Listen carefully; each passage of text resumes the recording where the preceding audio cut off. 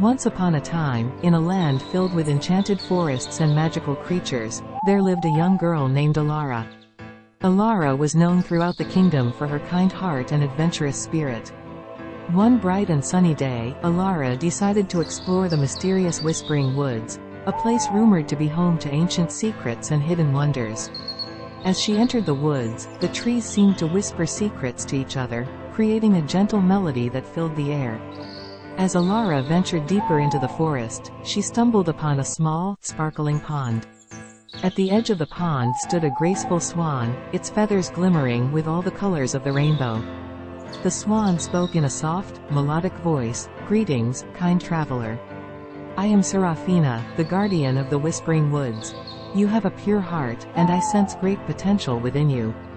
Serafina explained that the Whispering Woods were under a gentle enchantment that revealed its magic only to those who approached with kindness and curiosity.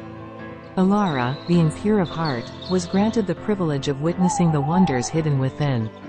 The swan guided Elara through the woods, showing her ancient trees that held the memories of centuries, and colorful flowers that only bloomed under the light of a full moon. They encountered mischievous fairies who played pranks with beams of moonlight, and wise old owls who shared their wisdom with anyone who would listen. As nightfall approached, the Whispering Woods transformed into a breathtaking display of bioluminescent lights. Fireflies danced around like living lanterns, casting a warm glow on everything around. The trees whispered tales of long-lost kingdoms, and the air was filled with the sweet fragrance of magical blossoms. Serafina led Elara to a clearing where a soft, mossy bed awaited her. Rest here, dear Elara, said the swan. Tonight, you will dream of the wonders you have witnessed, and tomorrow, you shall carry the magic of the Whispering Woods in your heart. As Elara lay down on the mossy bed, surrounded by the enchanting glow of the forest, she felt a sense of peace and wonder like never before. The whispers of the trees lulled her into a gentle slumber, and she dreamt of a world where kindness and curiosity unlocked the doors to the most magical places.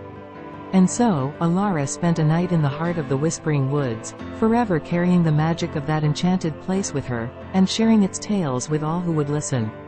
The next morning, she awoke to find herself back at the edge of the woods, but the memories of the magical night stayed with her for the rest of her days.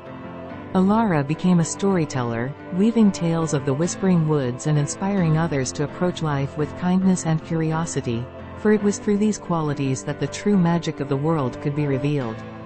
Thanks for watching the video. Don't forget to subscribe to our channel at Houch Stories.